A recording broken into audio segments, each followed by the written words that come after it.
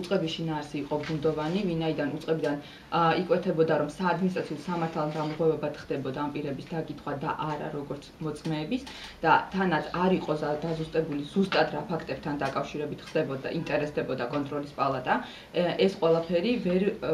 ვერ გაუჩენდა ამ პირებს მოლოდინს, რომ მათ ჰქონდათ ვალდებულება გამოცხადებულიყვნენ კონტროლის პალატის წინაშე. ეს პირები ვინაიდან იყვნენ დაბარებულები როგორც სამართალ დამღვევები, პოტენციურად პირდაპირი უფლება არსებობს, რომ საკუთარი თავის წინააღმდეგ არ შეგიძლია არ მისცე ჩვენება და შესაბამისად სრული უფლება ჰქონდათ ამ პირებს, რომ არ გამოცხადებულიყვნენ და ვინაიდან მოლოდინი რომ მათ წინააღმდეგ მიმდინარეობდა ადმინისტრაციული წარმოება, საკუთარი თავის წინააღმდეგ არ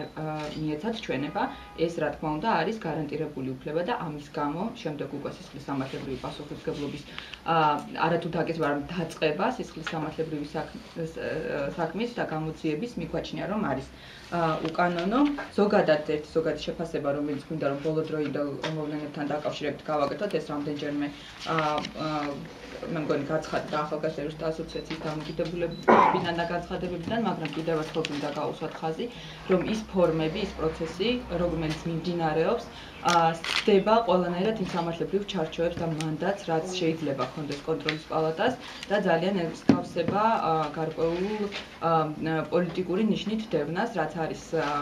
ძალიან სამწუხარო და მოვწოდებთ კონტროლის პალატას რომ გარჩეს თავის მანდატში და ნუ გადაამეტებს უფლებამოსილებას წინამდებ შემთხვევაში ეს